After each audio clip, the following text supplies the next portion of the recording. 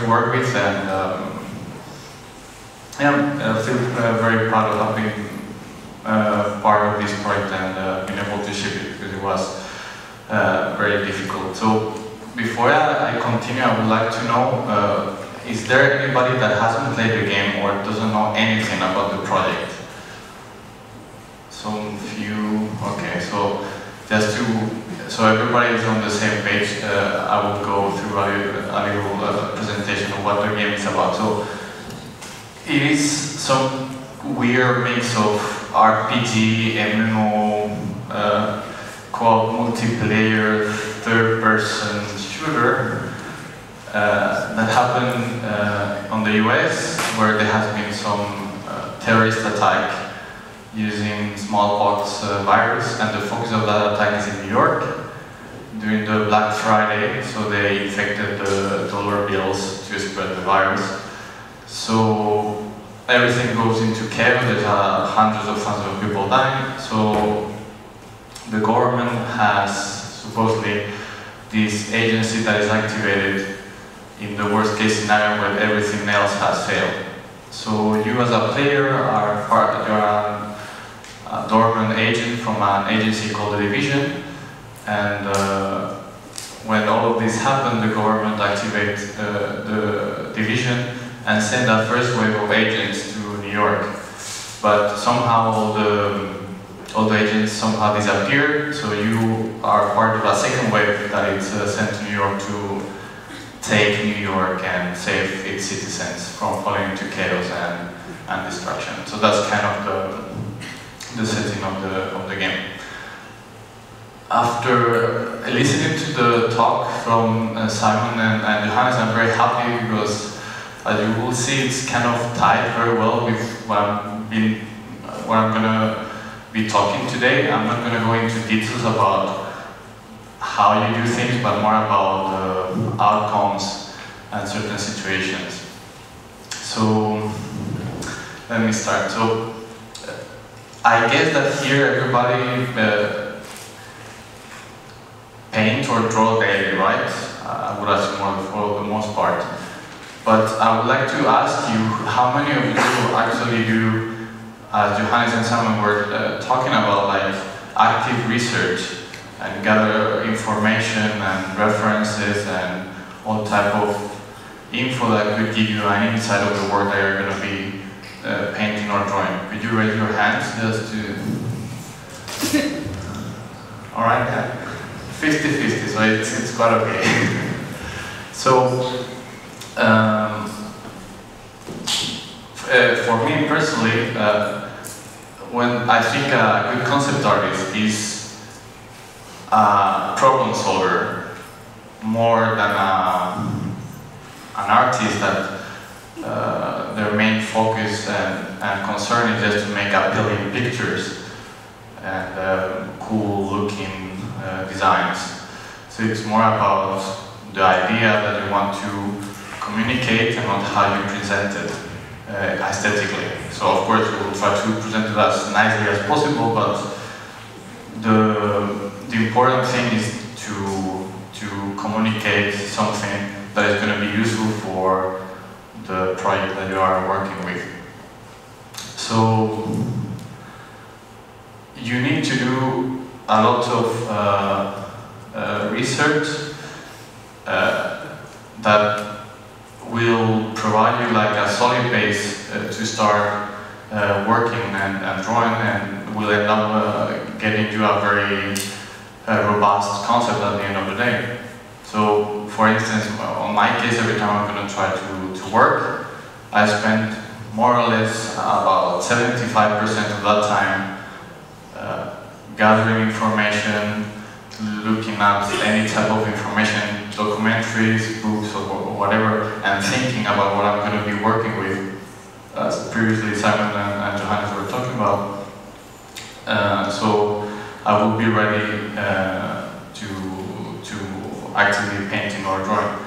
So of the 25% left of that time, I will be actually uh, painting. So that's uh, how it is. So from this problem solver uh, mindset, I could say that the division was extremely, extremely challenging project to work with. And um, the reason for that was the type of nature of the game that we, want, uh, that we wanted to, to build. And um, I could say, well, of course, I'm not saying that it's any other type of project or game has their own type of creative challenges, but at least from my own experience, uh, the division has been the hardest uh, project that I've ever worked with. And the reason for that was that the myriad of, of uh, problems uh, from a creative point of view that we encounter and that for the most part they could be traced to an original source or original scene if you wish to call it like that, which was the fact that we needed to combine a realistic setting uh, grounded in reality, so uh, uh, present day New York, with a game that was relying on a lot of heavy game design uh, features of an RPG, which for the uh, most cases are very unrealistic. So, as I was saying, we were encountering tons of situations where well, we had to deal with not just only trying to come with uh, good designs, but dealing with certain of other type of uh, challenges. So, uh, to, uh, to start with these type of challenges, uh, one, of, one of the biggest ones was uh, the one related with moral questions.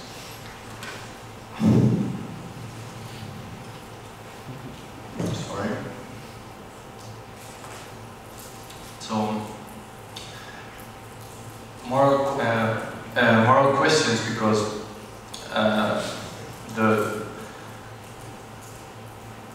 the problem would be as uh, uh, like this. You would be on the fantasy of the game. You are a hero, right? You're the player. You go to New York. You are gonna save.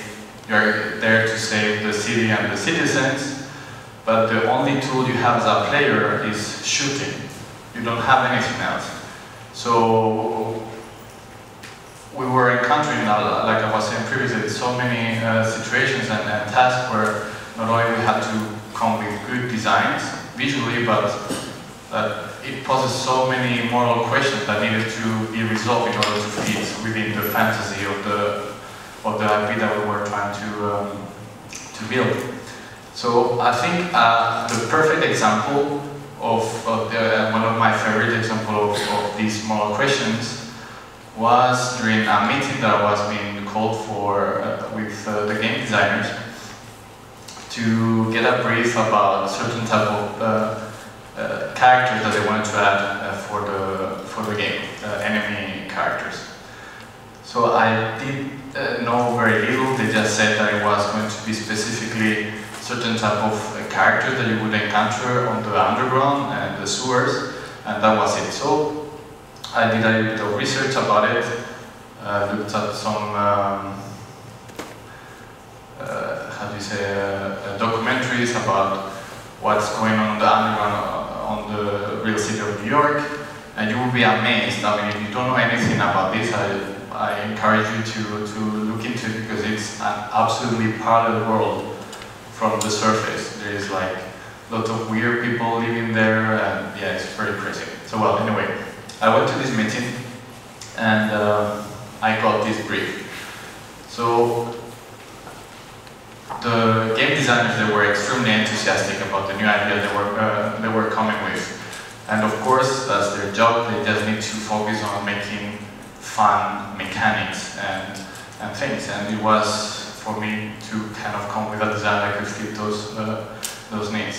So they they started by saying, okay, so we are gonna um, we want to add a character that you would encounter randomly on the sewers every time you go underground, and he's going to be some kind of uh, treasure goblin, which is going to be carrying tons of loot, and you as a player, you really want to kill this character, so he will or she will drop certain amount of random loot, and hopefully you will get a, a epic uh, type of loot.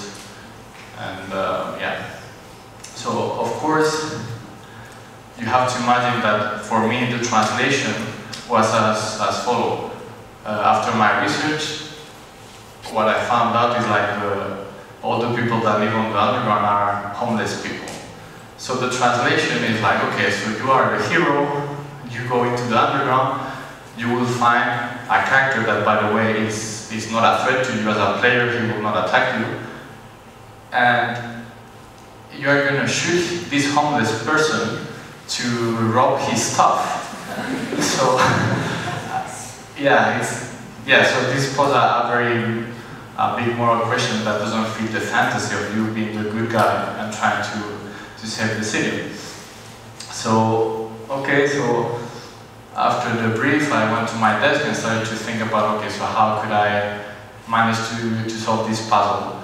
So what I thought was like, okay, so in order to make morally acceptable to kill uh, this character, uh, then I will have to apply certain layers of uh, evilness to this character. So it's obvious that when you encounter him, he's gonna look, he's gonna be looking so evil and so so dark that okay, it's gonna be fine to kill him because you know that he's a very bad person. And if he drops certain things, well, it's to be okay to grab nobody's to look at you, so it's to be fine. So, okay, I thought, okay, so since the setting, the sewers is very creepy and all of this, okay, so I thought something that could fit very well the setting would be like some kind of crazy person uh, and a psychopath. And, and not only that, but also, okay, so he's to be a um, serial killer or something like that. And uh, but since that's not enough, then he's to be killing children. Okay, that's evil. Uh, but then that's not okay. I had to, I really had to push it. I mean, in order to make this to work. So I said, okay, so maybe not only he kill children, but he eat them. So we will have some kind of children eating an Hannibal Lecter uh, thing. Uh, and yeah, so how to tie it with the thing that you will get uh, random loot that is useful as a player, so he will be carrying trophies of uh, his victims around. And uh, obviously, so to tell with the division gear, so he could have been killing uh, first wave agents, and therefore you could explain that he had uh, weapons and stuff like that. So after trying certain things, I I came with uh, this handsome guy. Uh, so I tried to certain layers to make it kind of obvious that, could you see it properly, the pixels? I, I don't know if it's uh, readable. But yeah, I started to put like some uh, dolls from maybe the the kids that he killed, like some figures, trophies from his victims, uh, um, uh, blood stains, I don't know, just to make him very fitting. I mean, if I would encounter this character on Asura, I would shoot my pants, I think. so yeah, then carrying a lot of random things and, and maybe a bag with body parts or something just dropping uh, blood, so it would make very easy to kill this character. You wouldn't doubt that he's an evil character.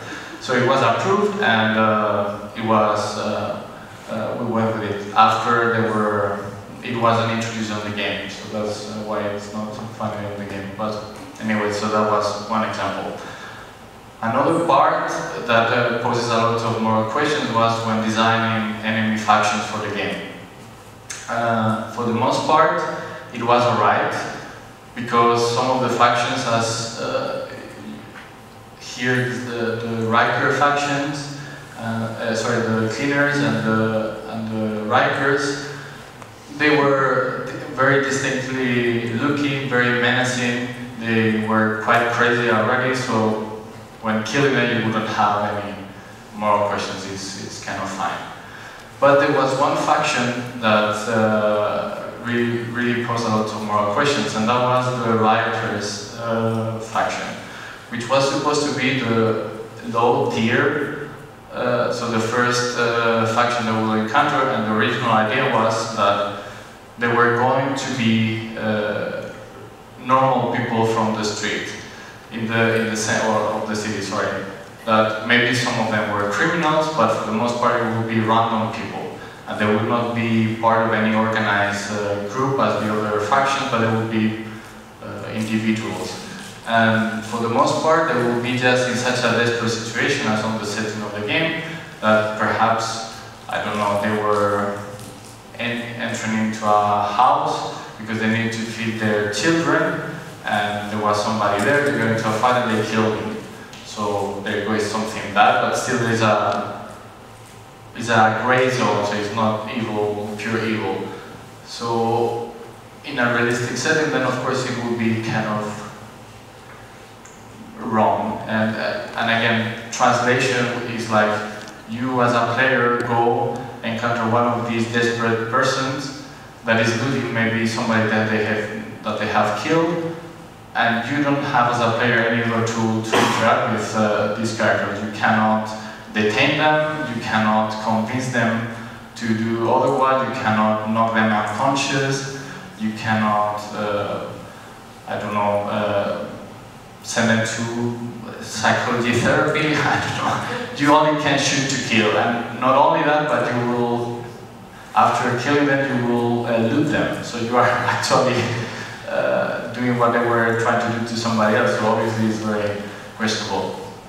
So we decided that we needed to go again with some kind of evilness layer into the uh, that it was very late into the process, so we had very tight uh, limit of, uh, of time. And uh, the only thing that we could do, at least from a concept perspective, was to make them as much as we could and still remaining with the main features that they wanted for the faction to make them slightly more menacing instead of more common people. Um, I don't know if you've been following the game, but on the release that was also very controversial about this faction because they they were criticizing the game for depicting uh, black hooded people and we were targeting them as it was all of it was during the, these riots in, in the US uh, the truth of the matter is that there are not black people, there's like a lot of different uh, uh, ethnicities, but also because of technical uh, problems for the game, so they couldn't add as much uh, variety as, we wanted originally. And they were covering all the faces with masks the virus and the cold, so it wasn't a perfect uh, result for them, but that's what we could do. But uh, this was uh, this is a good example of this type of moral questions that we had to deal with. Another type of uh, creative challenges that we came across were the legal questions, and that was a biggie on the on the game. And the problem uh, lay on the fact that we needed to depict as close as we could the real city to a very high level of fidelity. Uh, and uh, I don't know if you know about this, but apparently a lot of landmarks on the city are copyrighted. So the intellectual property of these landmarks are owned by, I think, the Port Authority or something like that. So this posed a lot of uh, problems because you would be uh, sitting, sitting with the art director and he will say, okay, so we need to have the Empire State Building, obviously, is in New York, need to look like the Empire State Building, but it cannot look like the Empire State Building. So there you go. So we went into a lot of research about the architectonical features of each type of building, the, their history, analyzing which of those features made that style. So we could come with solutions, applying those features into our own designs, and it would get close, uh, as close as possible to the real thing without looking the same. So to illustrate this example, uh, it happened with uh, this building here, I don't know if you know, it's the World Trade Center uh, train station. Uh, and it's, as you can see, it's pretty mad uh, structure. It's uh, built by this uh, famous uh, Spanish architect called Santiago Calatrava. And the thing is that we were having a main mission event on this spot. So, once again, we need to have this on the game, but it cannot look like it. So I went through a lot of uh, real buildings from this architect, trying to analyze what features made his style be what it is. And then I came with a, a lot of uh, sketches and original uh, uh first uh, concept for it, and they were all the time being rejected by legal. They were approved by uh, the art direction, but not by the legal department. So at that point, and this task uh, drive me crazy. It took ages and ages, and uh, it was absolutely madness. So at some point, I decided, okay, look, I'm, I thought that I was being very clever, and I came with a cool idea, and that was to use instead of basing my uh, aim uh, end goal uh, design as the finished structure, I would take as a reference like the end structure one point during the construction of the site. Of the site. So I took this picture, uh, reference picture of the, during the of the middle of the construction of the of the structure, and base this as as this was going to be the final result of the of the structure. And since it has this mix of materials and everything, I thought, okay, it's going to be fine. This is going to be uh, this, this must be approved because it has absolutely nothing to do with the final results. So this is uh, the, the concept that I came with, of course changing a lot of things, so it's not even getting closer to the shapes, but still remaining certain elements, but adding a lot of things, so I made sure that it had nothing to do with uh, the end result of of the Calatrava uh, design. So our direction was very pleased. Okay, so I, we thought that we had this. We went to uh, legal, and guess what? It was not approved because apparently it looked too much to this, regardless of it, if it has nothing to do with the uh, with the final uh, structure. So at this point we were just like, we wanted to kill ourselves. I mean, we, we, we didn't know what to do. So at the end we just uh, dropped the idea of trying to be as close to the real site because it was impossible to do with uh, legal. Uh, and uh, we came with a completely different design, nothing at all to do with Calatrava, but trying to point that it was something modern and something like this. I couldn't find the uh, the concept for that, so I, I took these uh, screenshots of the how it looked in game. So as you can see, it has nothing to do. Uh, and it's also like in the middle of construction, and that's why it's uh, so bare bones. But yeah, so that was uh, the end result. Another good example of legal issues that we had to encounter was the ones related with signs and advertisement for the for the game uh, and especially the ones uh, for Times Square. When we had certain guys only focus on uh, doing our own um, signs of uh, companies and products, but when it came to, and they were extremely talented, they did an amazing job, but when it came to um, Times Square, I don't know if you have been there, but it's filled with uh, movie uh, uh, signs and theater plays and musicals and all this type of stuff. And of course, we couldn't just copy anything. We had to come with our own ideas. So again, as a concept artist, we couldn't just do whatever we wanted and make a cool sign, but we needed to thought, to think through, like analyzing, okay, so how normally these type of signs are uh, designed, what type of style, colors, palettes, uh, shapes, all these type of things.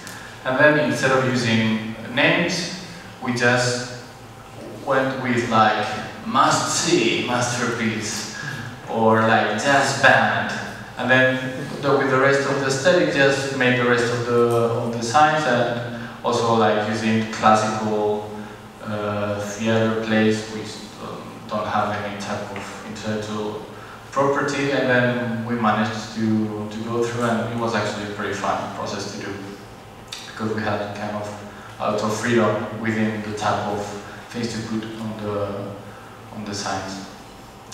Another type of um, creative challenges that we went through, and it was a big one, was the ones related with game design. and uh, these times, uh, yeah, that, that's, yeah, this sums it up very well, is what I went through on the very beginning, and it was this problematic where we had to represent a real, uh, a realistic setting grounded in reality, but then we had to make it possible through all these heavy features from an RPG, and very gaming, and that was very challenging. I think my favorite example of this was, uh, do you remember the treasure goblin thingy that I showed you before? Well, I went on that same meeting, after that character, they bring me with, uh, for another character. So uh, already after the warm-up of the Treasure Goblin, they came and said, okay, so now we want another character also on the sewers, and this character is gonna work a little bit like the witch from uh, Left 4 Dead. I don't know if you have played this game or you know about this character, but how it, uh, how it worked. That game is uh, a co-op game where you need to go with your friend from point A to point B. It's a zombie apocalypse uh, game, and you can encounter certain uh, types of special zombie characters, which one of them is the witch. And how it works is that this uh, woman will be laying somewhere crying, and if you are careful, nothing will happen. But if some, somehow you manage to get her attention, she would aggro on you attacked you and she was extremely dangerous and the most likely was that you were going to die. So there you go, that's something they wanted to add with that twist for the division. So how it was is that you would be again walking on the sewers, randomly could encounter one of these characters who would be just doing its thing in one corner, uh, disturbed, and if you were unlucky enough to wake him up or whatever, he will aggro on you and he will start to scream very loud, like, yeah, like crazy. And he will summon uh, a lot of dogs, dozens of dogs. So, not only that, so these dogs will go and attack you and uh, wait for it. they, these dozens of dogs will attack you and then when they reach you, they will explode because they will have explosives tied to their backs. So yeah, you have to picture me on this meeting. So you have the game designer, they are so excited about it and they are so happy with this idea, it's going to be so awesome for the game. And me on the inside is like, you assholes, how am I going to do this? This is impossible. And I mean, don't get me wrong, they did a wonderful job and that's what they had to do. It was just like, yeah, this is, yeah, this is going to be very tough to, to, to deal with. So, okay, so I went to my desk again, I thought, I thought, couldn't come with anything, I went home, thought, thought, yeah, couldn't uh, sleep for the, for the night, just trying to come with something that could make sense, because, again, if you think about it from a realistic point of view, what they were asking me to do would mean that, okay, not only this was about one single character, one single guy in the whole city that somehow you could explain, you know, somehow, no, but it would be an archetype, so you will find many of those.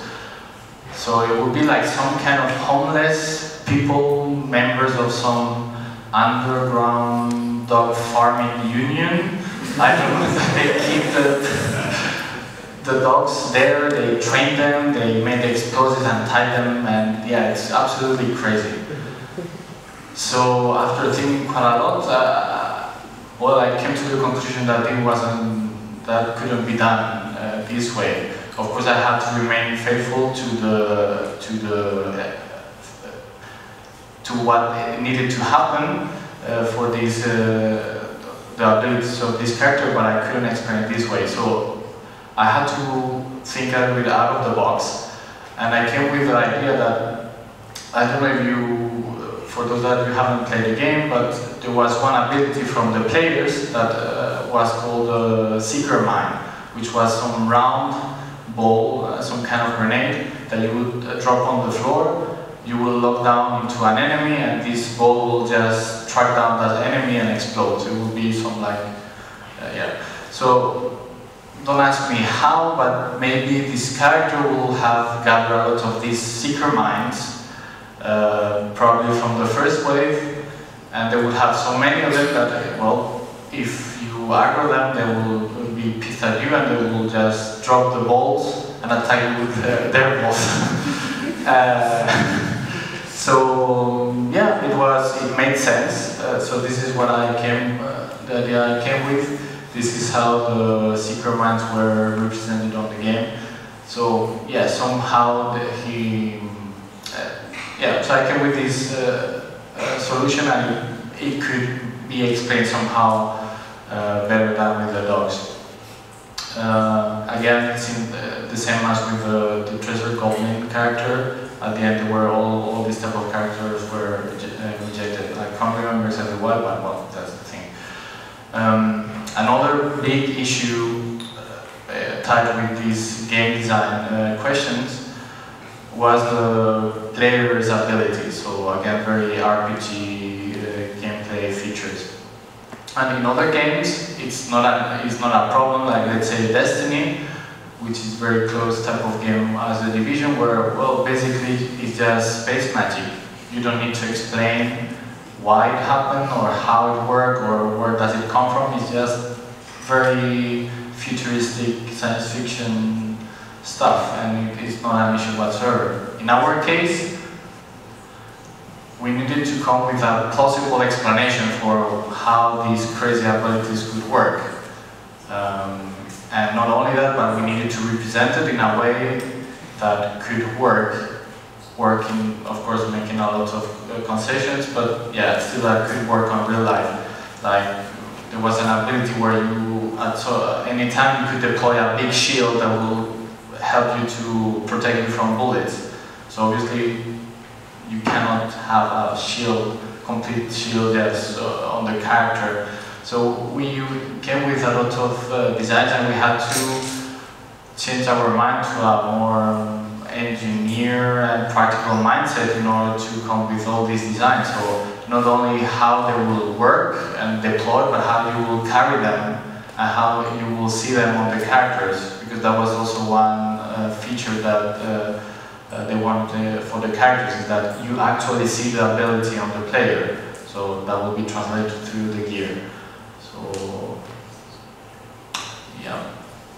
So, these, these were the, the seeker mines. Uh, so that's how it will look once you deploy them, but you will have them packaged some, somewhere on your backpack like this, or like some drones or tur uh, turrets. Um, and had to come with, okay, so how would it make sense to carry them and still uh, make it practical for somebody to run around with all these type of things. Um, another interesting question that we need to deal with and we didn't manage to solve it that well was uh, the bullet sponge uh, problem for the division. Um, what I mean with that is like again going to Destiny, if you are fighting against big monsters and giant creatures, well, you're gonna take you don't need to think twice to accept the fact that you need to shoot a lot uh, these creatures in order to kill them. But in our case, it's just normal people, it's humans. So it doesn't make, from a realistic point of view, it doesn't make sense that you just shoot 100 bullets in order to kill one guy, especially when we are talking about not even military people, it's civilians, that they kind of somehow come with uh, some type of improvised uh, equipment to so we did our best to reconcile this uh, the realism with the RPG elements. So we came with yeah, maybe some shields in some case uh, this faction was a little bit more military so we could go a little bit crazy. So obviously I mean we couldn't go completely realistic because yeah there is no I mean that doesn't that can cannot happen in real life. The same with the cleaner, so we, we add a lot of, try to work with the shapes so make them more bulky, so somehow intuitively it makes more sense that perhaps they they can suck more damage and yeah. So these were some examples of this. Another type of creative challenge that we encountered uh, was uh, gender and ethnicity on the game. And the thing is that at some point, we, as I was saying before, one of the main goals uh, for, the, uh, for the project was to depict as realistically as possible the city of New York. All the characters that we are putting into the game are just white men, and it doesn't make any sense. I mean, Maybe you explain that somehow the smallpox virus targeted women and all the rest of the ethnicities, maybe, but of course it doesn't make any sense. So we had to go through a lot of uh, adding a lot of uh, different ethnicities. Also, we tried to go into a lot of depth into, okay, so maybe we can type certain type of ethnicities in different neighborhoods depending on uh, the type of uh, cultures and, uh, and uh, history of each neighborhood uh, in, in, the city and add a lot of women on the into the characters because of course yeah. They not to explain anymore. So as I showed you before yes so a lot of, a lot of uh, uh, adding women so here is also one another one. And also with the uh, special character, so he's like the leader of one of the enemy factions, and this was your companion as a player, so he's a division agent, and this was uh, like a mission giver, so it's like important characters on the, uh, for the game. So I think we accomplished pretty well uh, these gender equality, so represent properly a uh, portion of the, of the society in New York. Um, an interesting aspect of, of this uh, um, uh, of trying to, to portray more women on, on the characters was with the military personnel. Um, there was a lot of uh, military, like National Guard, uh, people on the on, New York. So when it came to adding these uh, female characters, well, obviously, military people have uniforms, as and as the name itself says, uniform is for the sake of unifying the look of every single person on the on the military. So, as a matter of fact, I don't if you see a male soldier and a female soldier like I don't know 50 meters away and with all the gear, you generally will not distinguish who is who is a male and who is a female. Because, yeah, all the, it will um, obscure all the silhouettes of the anatomy, so normally to distinguish a female from far away or a male, it, it's maybe the, the, the hairstyle, the clothing, the proportions, but all of these get uh, rendered unified with the, with the, with the military uniform. So the only thing that we could think of it was the, obviously the faces, but at the end it wasn't. It was also a problem because for the most part all the characters were going to have the faces covered. So well, in this case, even though we modeled the female characters and all of this, then it wasn't that obvious in game because of all these things. And um, I could say that more or less these are some examples of, of this type of uh, creative challenges that we came through. There were tons more, I could be talking for ages about it, but I think this, uh, this sums up uh, pretty well uh, these, uh, these programs. So, uh, it's very interesting all the things that I got to learn about uh, the New York and the city thanks to uh, thanks to this project. Um, and uh, one interesting, I mean, a funny thing is that these uh, some people that are not too much into uh, art or, or video games or whatever, they have these stereotypes about the artist, which is like, yeah, just on their own bubble thinking about art and their things and not caring about anything else. And maybe in case of the concept art, artist is even worse because on top of that you add that they just talk about monsters, dragons, and video games, it's just like a bunch of nerds. And maybe, well, honestly, maybe there's a little bit truth on that, right? Uh, after all, uh, for example, myself, I just got a puppy recently and I called him Bilbo from Bilbo Baggins, so yeah, I guess, yeah, but uh, I'm a nerd, I confess. Um, so, but yeah, in, in all seriousness, uh, the truth of the matter is that as concept artists, we need to seek and gather as much information as possible and, and, and inspiration and again with the, with the talk from Johannes and Simon in order to do your homework and, uh, and, and do a good job as concept artists uh, to, to transmit a, a, good idea or concept. And uh, yeah, it's, it's quite crazy all the type of things that I, I get to learn uh, that otherwise I, I wouldn't have uh, learned, like the history of, of New York, like all type of things about terrorist attacks, how it worked with viruses, with bombs. I mean, I'm pretty sure that I've been labeled by some intelligent agency somewhere in the US because of all the shady places I went through on the internet to, to gather information. And also a lot of very useful everyday life things that you could use every day, like for example, knowing how long it will take a single person on foot to escape from New York in case of a, a lockdown, right? Very useful, or maybe, yeah, like the, the railway tracks on the underground are almost 1,400 kilometers long. So yeah, very useful things. Um, so yeah, I I think that's that's what I can that's what I can say.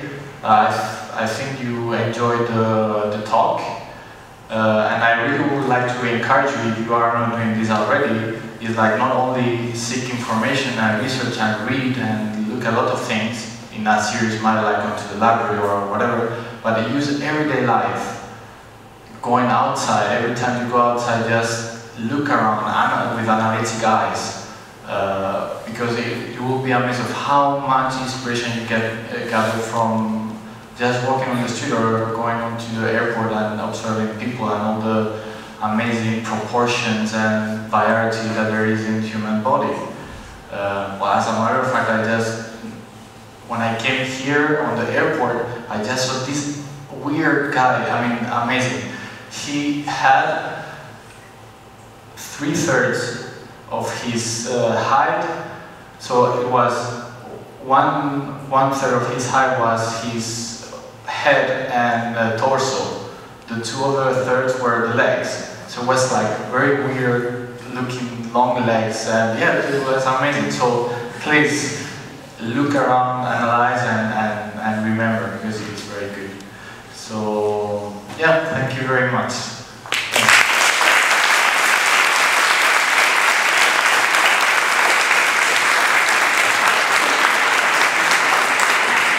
I, I saw some uh, hands uh, raised, so I don't know if uh, I will be totally okay for, I think there is like, it's lunchtime perhaps, but if you want to, I know, okay, so there is some time if you want to have some Q&A session, I will be very glad to, to answer some of your questions. Uh, yeah? Uh, one question. Perhaps I've missed it, but have you ever been to New York? Yes, yes. I mean, not for the project, because other people from the, I mean, since we were such a big team, we couldn't just go everybody there, it will ruin the studio.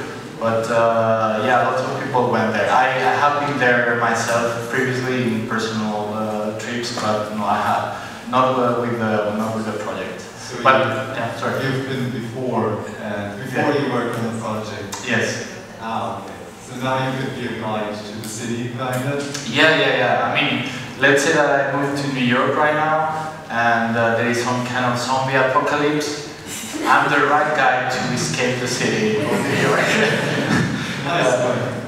I mean, I, I even though I didn't went there, but we gathered so much information. We did a lot of, we, we took a lot of people uh, to the studio to interview them, like from the the police department, from uh, the FEMA uh, organization in the US, which is to to manage like emergency situations. So they could explain us how things will really run and how things will really work in a real scenario that we were trying to depict on the on the division. So of course it's not as same as going there, but but still we we got a lot of useful information. Yeah. More questions? No? Come on, don't be shy. What's your stance on the level 30 beanies and hoodies? um, So About the- progression system they have for clothing, so even the high level characters look like random people on the street basically. Yeah, well, um, I personally, I think that we didn't have much time to work on it, so we did what we could. And also, uh, as I tried to explain, I don't know if I mentioned it, but there was also certain technical constraints for how many characters we show for the faction. So it was limited at the end to this archetype, if you want to say visually, of the uh, hooded uh, people. So yeah, I think we have. I'm sorry, uh, I meant for the players, you have this progression system with new gear, to level up, it's RPG. Yes, yeah. But even the high level items look exactly like the low level items, you just have different numbers basically. Uh, yeah, the, th- the thing is, as I, if I'm remembering correctly, the leveling up will, uh, for the abilities, I mean, the abilities will be locked depending, it will be unlocking uh, depending on the, on the, on the level that you have, so the gear will remain the same, uh, but you will have access to more. Uh, and the way to represent the, the leveling be through uh, changing styles of, of clothing or equipment. So you will have more fancy looking uh, knee pads and, uh, and uh, backpacks and uh, the, with the weapons also. Yeah, so just more choice and Yeah, exactly. but still looking normal. Yeah. No questions? Yeah, here on the, on the front, I think. Uh, how many times did you, Where, you you have a microphone there. uh, how many times did you have for one character like the exploding studio guy? How many times did you have to design it? to finish it? Uh, how many times did I get to? Yeah, uh, how many times the the art director, how many times did you? Well, th- that's a tough question because since it was such a long project and so many different type of characters and needs for each character, it would depend a lot. And sometimes uh, game design uh, was coming with certain ideas uh, more late. So we had shorter time, sometimes it was very early on, so we had a lot of time to develop and think uh, about them, so it would depend greatly. Um, yeah, so yeah, I- sorry, I cannot answer specifically. It's right.